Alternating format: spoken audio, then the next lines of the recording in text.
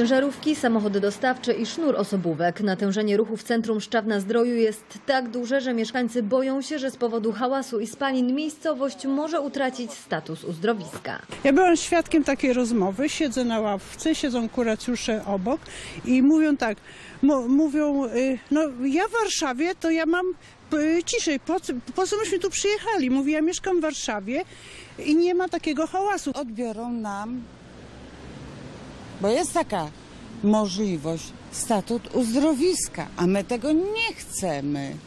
Jakby trzeba było iść manifestować, to idę pierwsza.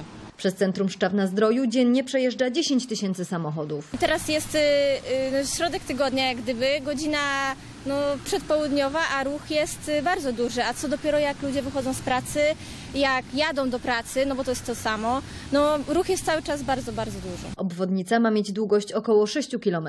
Odcinek 800 metrów za 30 milionów złotych ma wybudować Generalna Dyrekcja Dróg Krajowych i Autostrad. Pozostałą część drogi gmina Wałbrzych, której Unia Europejska przyznała już 300 milionów złotych. Problem w tym, że Generalna Dyrekcja pieniędzy nie ma.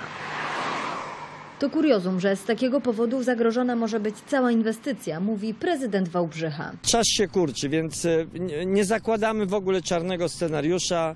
Musi ta obwodnica powstać, Szczawno-Zdrój musi być uratowane, uzdrowisko musi być. Nie możemy powiedzieć, że to będzie za miesiąc, dwa, trzy czy za pół roku. Sprawa jest procedowana w ministerstwie, zatem na ten moment oczekujemy na zapewnienie e, środków finansowych. Mieszkańcy Szczawna i Wałbrzycha na obwodnicę czekają ponad 20 lat. Wtedy ruszyła budowa, ale inwestycja, która pochłonęła 50 milionów złotych, została przerwana.